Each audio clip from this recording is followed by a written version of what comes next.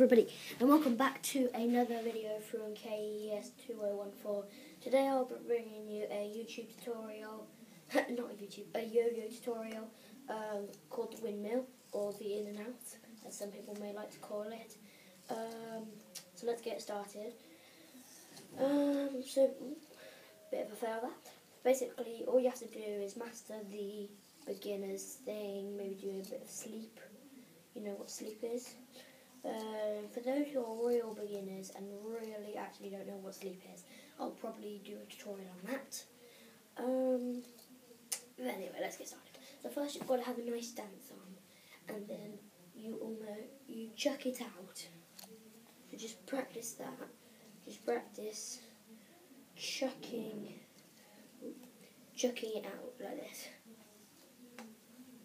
And basically, I'll, I'll, I'll show you a demonstration of what the trick's meant to look like.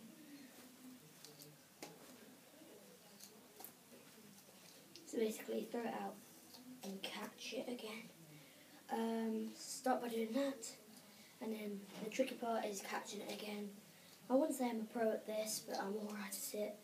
Okay, um, and that's the tutorial. Um, thanks for watching. Leave a comment, like, rating, share with your family and friends.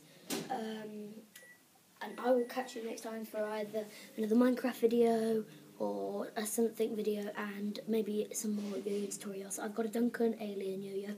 Peace out.